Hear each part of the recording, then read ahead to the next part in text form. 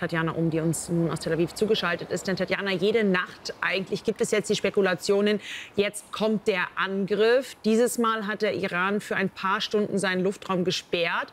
Ist das jetzt die Art Zermürbungsstrategie und Taktik der Iraner?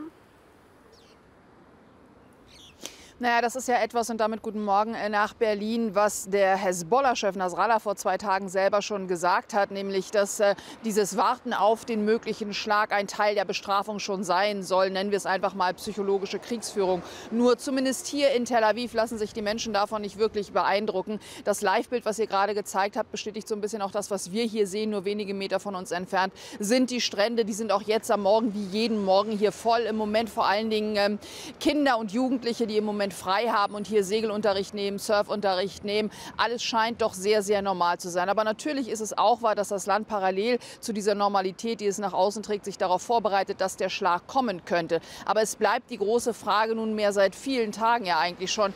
Kommt er? Wenn ja, in welcher Form kommt er. Und da gibt es jetzt eine interessante Meldung, die kommt aus, nicht direkt aus dem Iran, ich sage mal indirekt aus dem Iran. Es gibt einen in London ansässigen Nachrichtensender von Exil-Iranern, der persischsprachig ist, Iran International.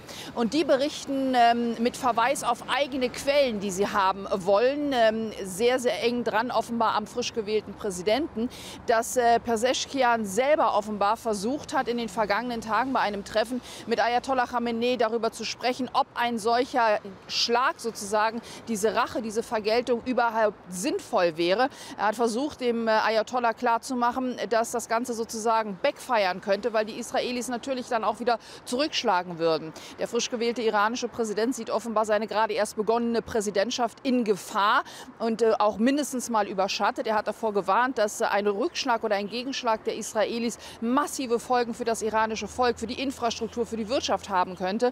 Und die Reaktion Khameneis sei nicht ganz klar gewesen. Der hätte sich irgendwie nicht groß dazu geäußert. Aber das zeigt relativ deutlich, wenn das denn so stimmen sollte, dass auch innerhalb der iranischen Führung man sich nicht einig darüber ist, ob man zuschlagen sollte und wenn ja, in welcher Intensität. Tatjana, danke schön nach Tel Aviv.